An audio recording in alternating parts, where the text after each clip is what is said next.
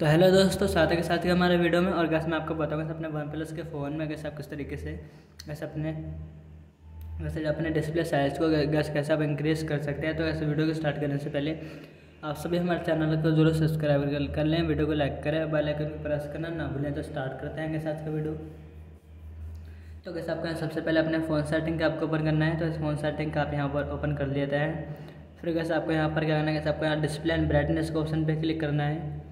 फिर कैसे आपको यहाँ से नीचे स्क्रॉल करना है, कुछ इस तरीके से। फिर कैसे आपका फ़ोन एंड डिस्प्ले साइज़ का ऑप्शन मिलता है, आपको इस पर क्लिक कर लेना है। फिर कैसे आपको यहाँ से नीचे स्क्रॉल करना है और कैसे आपको सामने अगर डिस्प्ले साइज़ तो वैसे आपको इंक्रीज़ करने के लिए गैस आपको करना है आपको यहाँ पर लार्ज पे आ जाता है अप्लाई करना है। और गैस हमारे जो डिस्प्ले साइज़ है गैस कुछ इस तरीके से गैस हम कर सकते हैं कैसे इंक्रीज हम अपने वन प्लस के फ़ोन में। तो कैसे आज का वीडियो में इतना है। तो कैसे आई होगा आप सभी को वीडियो पसंद आई होगी।